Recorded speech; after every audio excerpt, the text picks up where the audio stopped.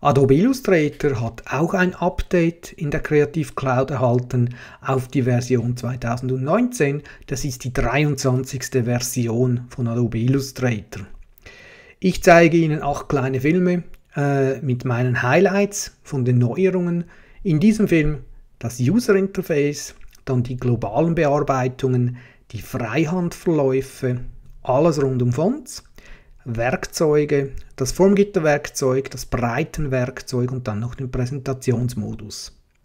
Ich fange an mit dem User Interface.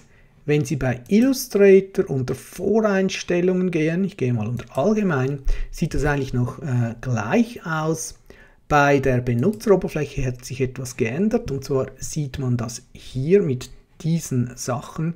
Ich kann mir die Werkzeuge größer oder kleiner darstellen lassen. Das Ganze geht erst, wenn ich den Illustrator neu starte. Das ist aber nicht das Highlight. Das Highlight ist eigentlich das, dass das Ganze automatisch geht. Also je nachdem, was ich für einen Monitor habe, passt sich das Ganze an. Also wenn ich im Hintergrund noch einen zweiten Monitor angeschlossen habe, ändert sich die Größe der Werkzeuge flexibel. Und das ist recht gut gemacht. Ein kleines Update, aber das können Sie sicher brauchen.